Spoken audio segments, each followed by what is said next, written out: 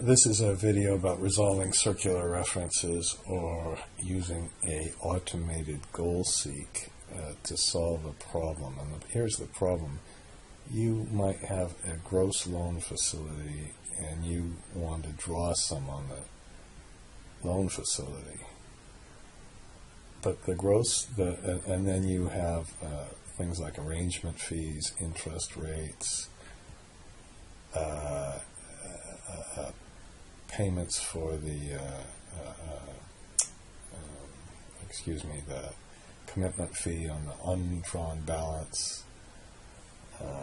and then what you want to do is to make sure, in this case, we said, okay, let's try to borrow 5,000, 5 million rather.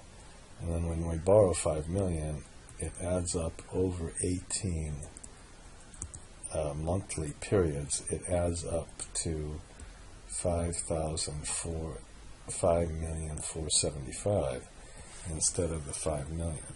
So what you could do is you could make a goal seek, and let's say we want to find out what our commitment is, we could just make a goal seek, go to data, what if analysis goal seek, and set the difference to uh, zero by changing the, we could change the gross facility amount. Okay, or alternatively, we might want to leave that at 6 million.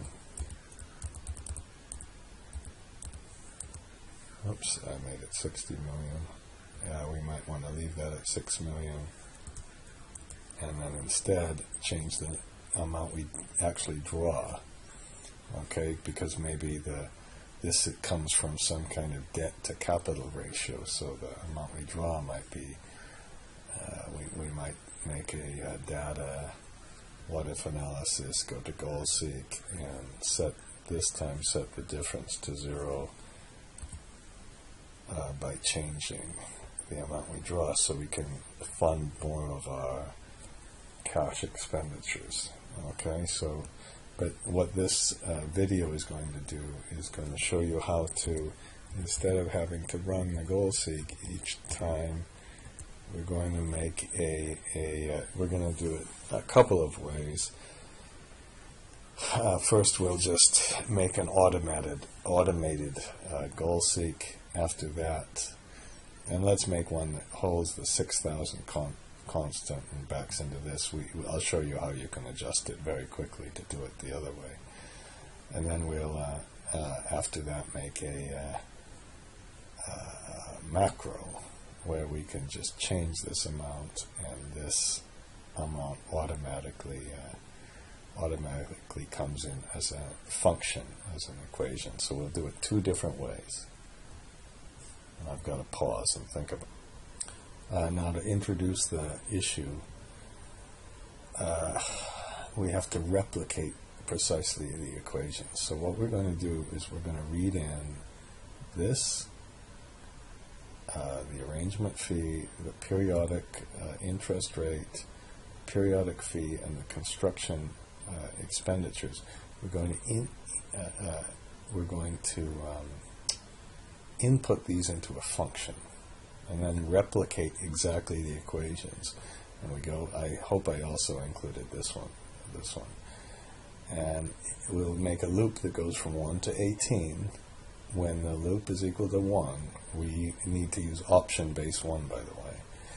When we, the loop is equal to 1, we'll have an opening balance of 0. We'll draw down the amount, which we don't know yet. That's the big thing. We don't know yet that. And we'll go around and around and keep doing that, and basically uh, uh, keep doing that until this goes to zero, we'll multiply the capital, uh, uh, uh, the, arrangement fees only when it's one. The capitalized interest will be the opening balance plus any drawdown plus any arrangement fees. So the interest is after, in this case, the interest is computed after the drawdown and the uh, fees. And then the commitment fee, which can be the most painful thing here. The commitment fee is the total we, uh, the total of the commitment, which we input, but it's minus the uncommitted balance. And in this case, the uncommitted balance is the opening balance minus the plus the drawdown plus all of this. Uh, uh, so sixty thousand. Uh, what is it? Hang on. It's it's the uh, six million minus the sum of what we had last period, which was zero, minus the sum of what we had this period. So let's go to the next one. So if we go to this is the only calculation I'm a little worried about. Oh, I see. It's the sum of everything. So it's really the sum of we we take the uh, uh, let's see the sum of D19. Oh, it's the sum of the prior commitment uh, uh, commitment fees and the sum of all the interest and all the other fees, and we subtract that from the uh, opening balance. I'm going to make some mistakes on that one, but let's uh, let's go for it. So let's make a new macro first. Okay. Uh, suppose we'll. Whoops! I have something in here already. Let's go to tools and macros. I don't have anything. Okay, we'll make a brand new macro.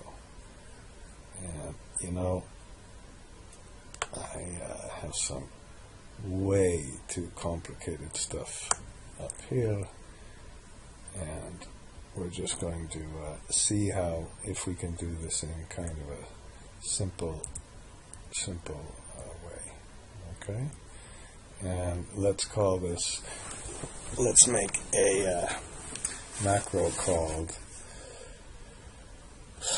uh, let me see resolve uh, debt or something, just so we remember where this stuff is. And the first one, let's we're going to try to find the draws. Okay, so let's make a function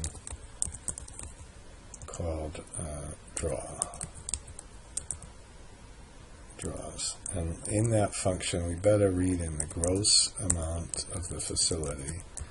We better read in the arrangement fee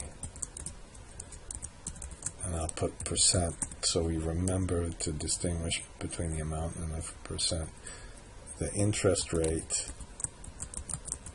and that will, it looks like that's going to be a single number, and then the uh, uh, fee, the commitment fee, at percent, and then finally the the, the uh, periods.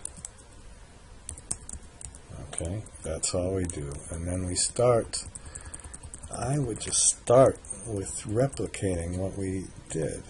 Okay, so we'll make a, a for loop for i equal 1 to the periods. Okay, that could be t or month or something like that. Okay, we put next i. That's the first thing you have to do, maybe the most complicated thing. And then you're just going to replicate almost, I'm looking at the sheet and I'm going to replicate what we did. So if uh, i equal 1, then we can do a couple of special calculations. First we can say drawdown equal uh, the, hmm, equal the test. We'll put that because we don't know what that is yet. Okay, and then we'll uh, also make the. Uh, I'll make it uh, capitalized. Uh, I don't have to call it that. Arrangement uh, fee equal arrangement fee percent multiplied by the gross amount. Okay, so we that's okay. And then the, the interest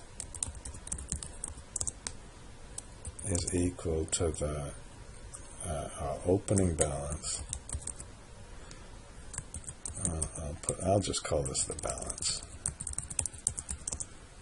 times the interest rate. Now we don't know the interest rate, the opening balance yet. Um, and in the in the oh, it's the opening balance, uh, and then the way we have it modeled here. And again, this emphasizes that you just have to replicate what you did. It's plus the drawdown. So the only problem is we don't know what the drawdown is yet. Okay? And then, so our interest is that. And then we have, um, well, that's, the, these all, uh, excuse me, should have stopped here because this is, this is, the, this, the, these uh, three calculations, these two calculations rather, they occur only in the first period the rest of it occurs in all the periods. And then we have the uh, calculation I'm afraid of, and in that that calculation that I'm afraid of, we take the uh, let's put the commitment uh, fee is equal to the we know it's equal to the gross amount minus and what we do is we subtract out anything we have already uh, uh, spent, and I think that's minus the drawdown. And that only occurs in one period, minus the arrangement fee.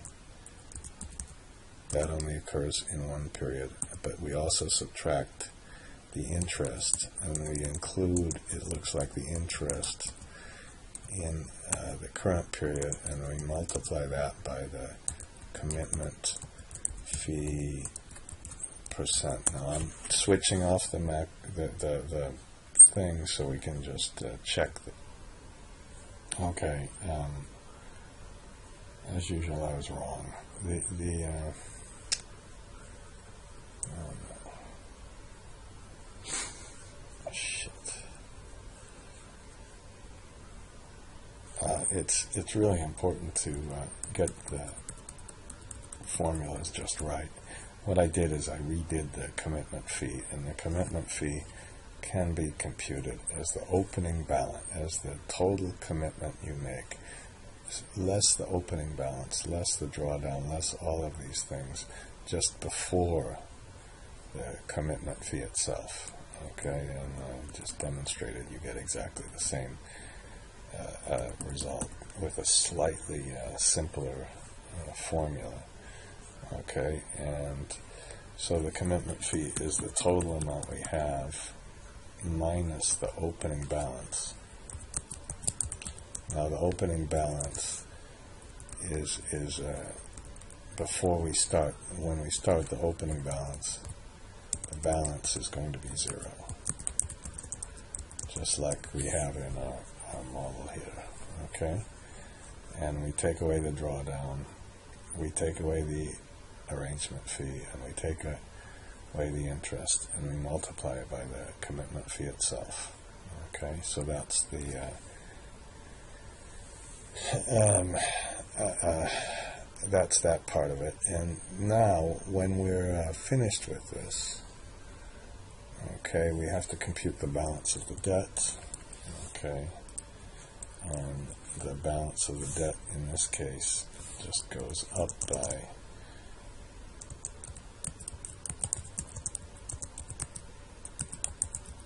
Okay, and we this time we add the drawdown plus the uh, uh, arrangement fee. You have to be very careful with the spelling. Plus the interest, plus the commitment fee. Okay, and then we so now we have all the balance, and now the only thing we haven't really done is we we we need to this this big thing we put in for the test. We haven't defined what that thing is. Okay, and we can do this two different ways. Let's use kind of a goal seek method. where we're replicating the goal seek, and then after that, we'll, uh, we'll, I don't know, maybe we'll use a function method. So what we can do is start with, let's put a start equal 0 and equal uh, um, the gross amount. And then, oops, and we can't put end, I'll put start finish. How's that? And it doesn't like that because there's a function. And we'll put increment equals equals the, the how about finish minus the start. We'll just divide it by 10.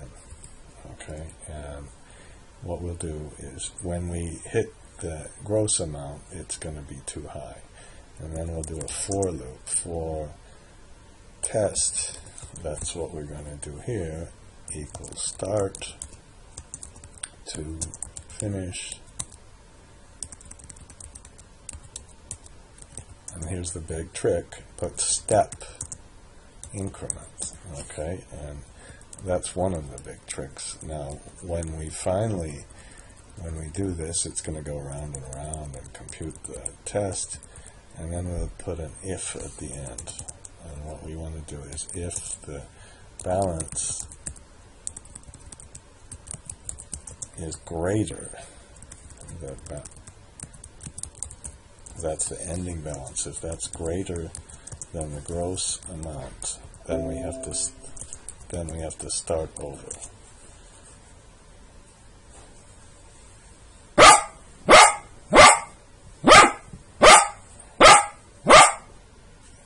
Okay, if uh, uh, so, when the balance is greater than the uh, gross amount, then we've gone too far. And here's what you do: then you just go backwards, and you say, "Well, let's start again, but this time let's start with our test minus the increment." Okay, and let's make our finish equal simply the test amount. So we have a much smaller range.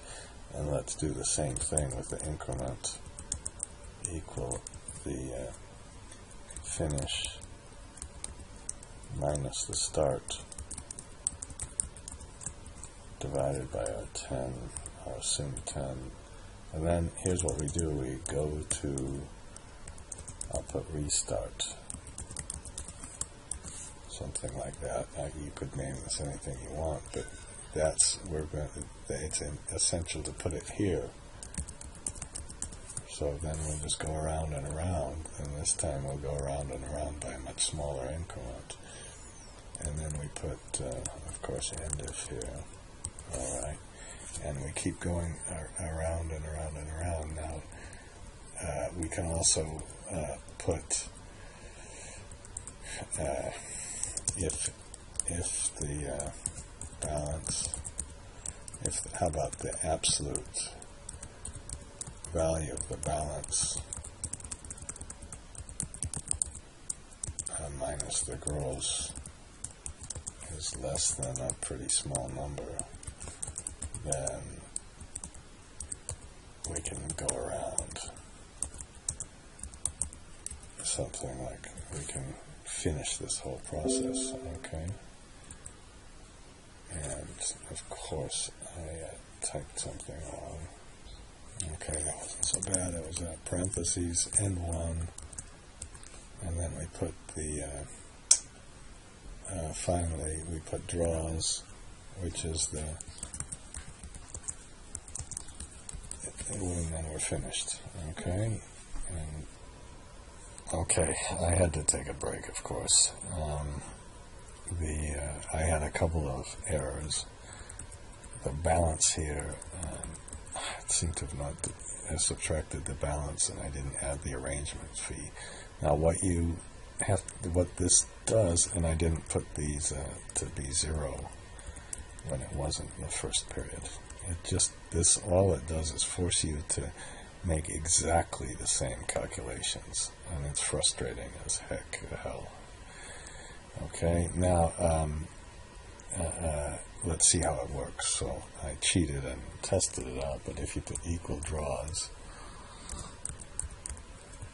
okay, and then you go to your little FX thing and you put the gross amount in first, and then you put the accumulated, uh, the arrangement fee in, and then you put the interest rate, and then you put the commitment fee uh, percent, and then you put the periods. It gives you an answer, and look, that difference is equal to zero. And if you've uh, messed around with this, it's uh, that's just music to you. Years now, I I think uh, perhaps I went too extreme with the iterations even